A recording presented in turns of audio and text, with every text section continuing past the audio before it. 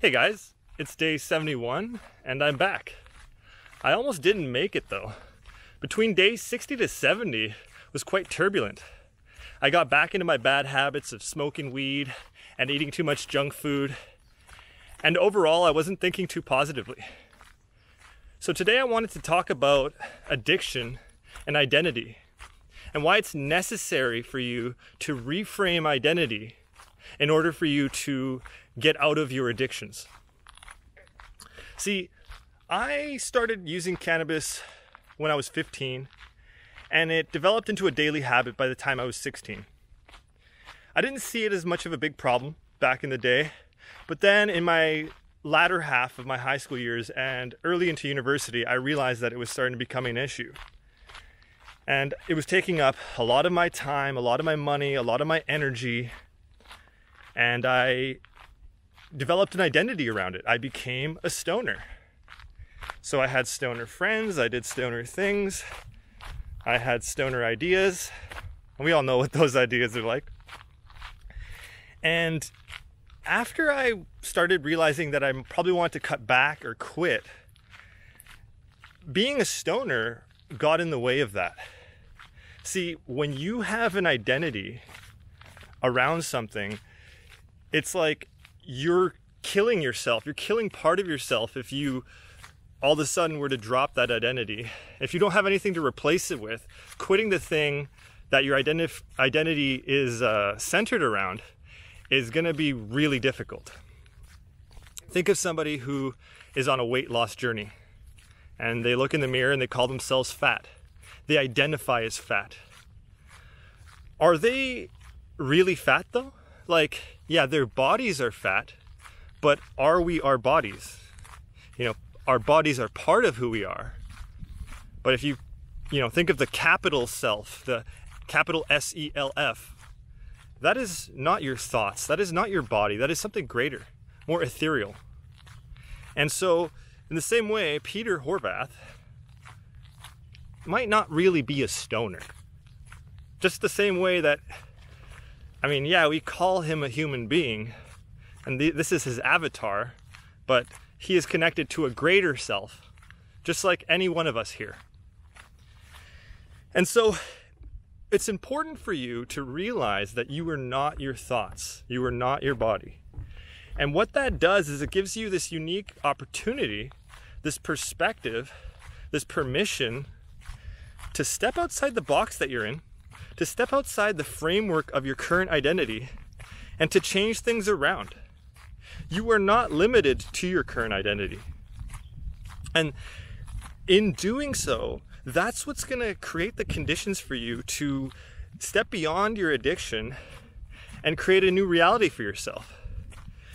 It wasn't until I stopped wanting to identify as a stoner that I was sort of allowed to stop smoking weed. It's like I was turning my back on part of who I was as a person if I had continued if I had stopped smoking weed but continued to be a stoner.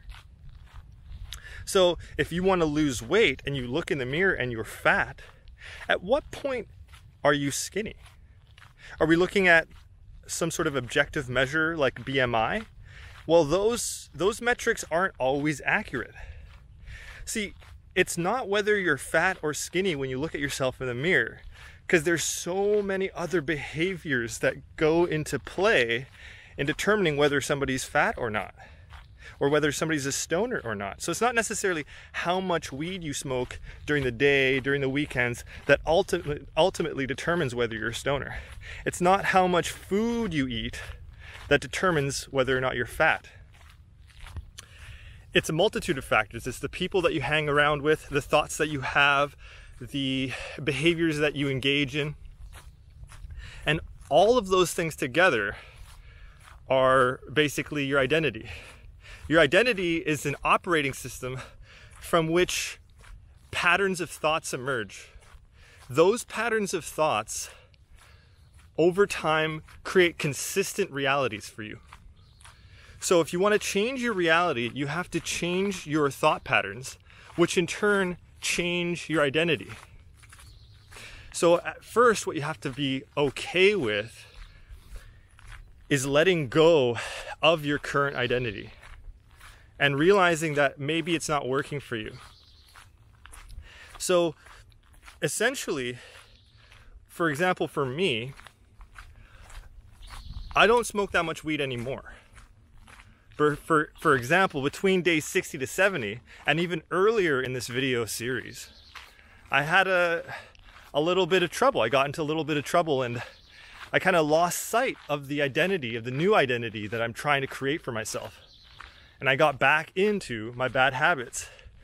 Because, see, those old identities, the memory, the, the, the neural networks are still there and they're, they're ready to go. It takes a long time for that stuff to die out. Old habits die hard. And so that's something I had to struggle with, you know, like but ultimately, this new identity that I'm creating for myself, that I'm that I'm trying to, this project, the momentum was powerful enough that I realized that that old identity isn't who I wanted to be anymore.